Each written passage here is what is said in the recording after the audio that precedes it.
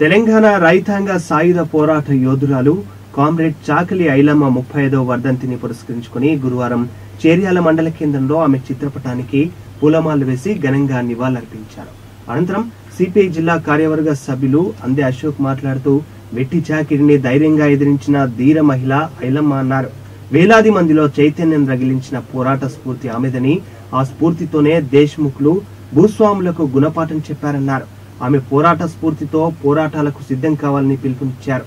ఈ కార్యక్రమంలో సిపిఐ జిల్లా సమితి సభ్యులు ఈరి భూమయ్య హైకోర్టు న్యాయవాది తరిగోపుల మహేందర్ అమరేందర్ చేర్యాల బాలయ్య మైసంపల్లి నర్సయ్య గూడెపు సుదర్శన్ తదితరులు పాల్గొన్నారు.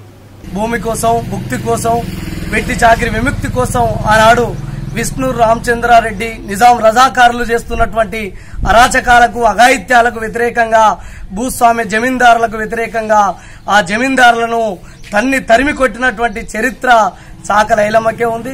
మరియు నాటి పోరాట స్ఫూర్తితోటి మరి మలిదశ ఉద్యమంలో కూడా ఆనాడు తెలంగాణ రైతాంగ సాయుధ పోరాట స్ఫూర్తితోటి మరియు కమ్యూనిస్ట్ పార్టీ ఆ రోజు నాయకత్వం వహించి దున్నేవాడికే భూమి కావాలని ఎర్ర జెండాలు చేతబట్టి మరియు ఆ పోరాటాల్లో ఎంతో మంది మరియు సాయుధ పోరాట యోధులు దొడ్డి కుమ్రే లాంటి వారు సాకలైలమ్మ వంటి వారు ఎంతో మంది ప్రాణత్యాగం చేసినటువంటి ఈ గడ్డ మరియు ఆ సాకలైలమ్మ స్ఫూర్తితోటి మహిళలు కూడా రాష్ట్రంలో ముందుకు పోవాల్సినటువంటి అవసరం ఉంది.